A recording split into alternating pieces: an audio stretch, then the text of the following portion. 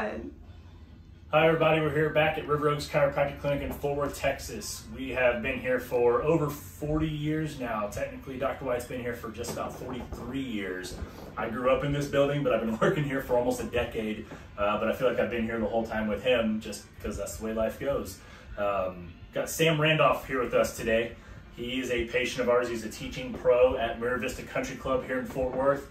And he's come to us and you've had several of your uh, golf, pro golfers up there at the club that you've seen benefit from getting chiropractic care, able to get through the swing, um, able to move better to hit the ball the way you should instead of having to modify the swing to be able to uh, to get through the ball and hit the ball. For you golfers out there, y'all know how important it is to be able to hit the ball well, uh, straight, and hopefully a little bit a little bit longer than normal. Um, and not hurt doing it. And not hurt doing it exactly.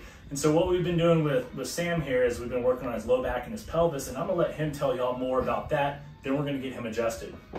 Yeah, I've had some chronic issues for lots of years with my SI joint on the right side and a torn labrum there. I've avoided doing any surgeries and I've always tried to rehab and stretch and I've had some success with that, but mm-hmm. it works a lot better if I get adjusted first and get the joints put into place first and then go about my exercises and stretching and strengthening and y'all giving me some real good exercises here too to help get those joints to stabilize and strengthen up again and yeah.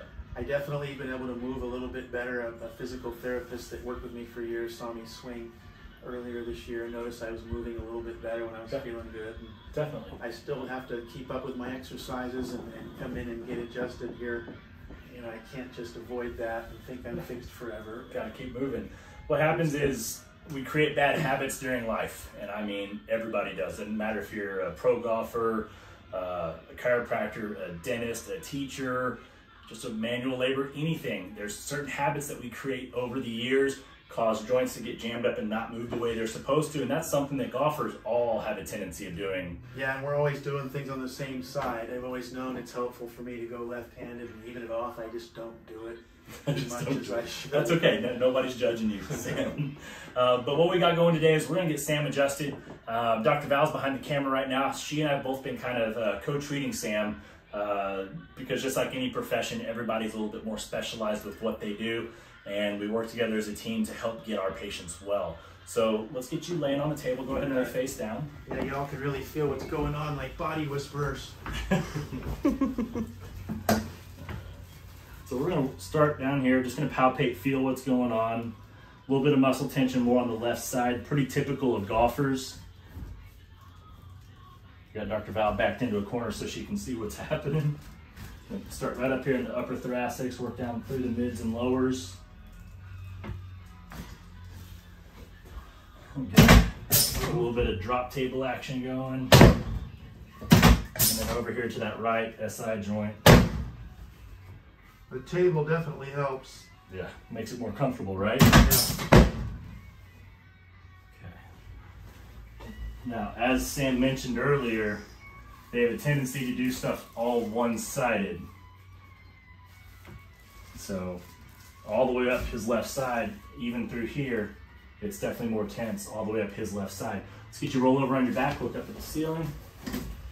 I'm gonna adjust his neck right here land on the table, get a little lateral flexion in there. Get over here to the other side. There we go. I used to be a little afraid of that, but if I just let go, it works easy. it works easy. All right, we're gonna hand off the phone. Dr. Val's gonna get so we're gonna check your hips, okay? Okay.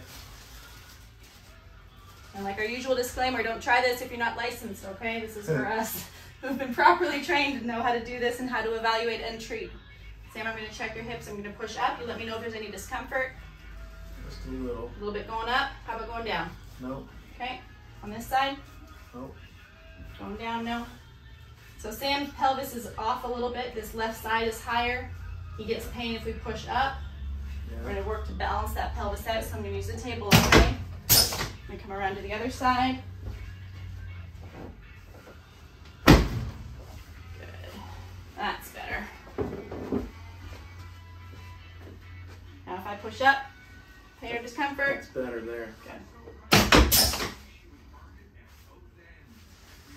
Yeah, my groin was definitely feeling it trying to play golf yesterday and the day before. Okay. That's better. Yeah, you're doing much better. You got a good bruise on your leg. Yeah. Well, camping issue. There's always a story, right? Oh yeah. All right, Sam, roll over onto your side facing me. There you go. Drop your legs off the table and sit up. And we're all done. Okay.